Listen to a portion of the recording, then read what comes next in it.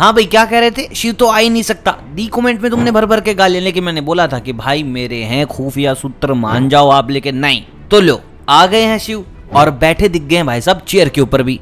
अब आपको बताऊँगा अंदरूनी बातें। अगेन आप मेरे को गाली दोगे कमेंट बॉक्स में ऐसा तो ही नहीं सकता भाई, शिव तो जा रहा है, तुम्हें क्या पता केप टाउन में शूट करेगा। लेकिन मित्र मंडली पहले बताया था कि जो बोलता हूँ होता है दोस्त।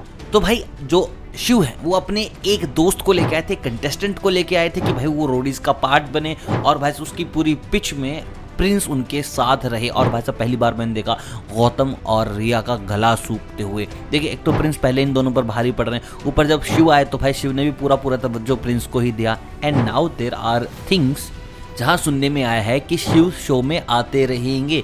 After three four episode three four episode three four episode और नए नए टास्क लाते रहेंगे नए नए चैलेंजेस लाते रहेंगे नई नई हर्डल बन के आते रहेंगे। और भाई दिस इज़ माई गारंटी अगर वो ऐसे आते रहे दो तीन सीज़न तो ऐसा हो सकता है कि एक सीज़न में वो रोडीज के जज बनकर आए मेंटोर बनकर आए।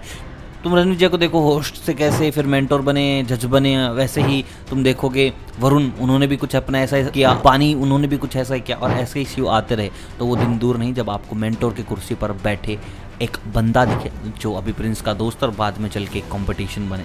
You do let me know through comment बाकी भाई इन दोनों ने जो हल्ला करा है ओ हो हो हो हो स्वाद। मिलता हूँ आपसे, चल बाय बाय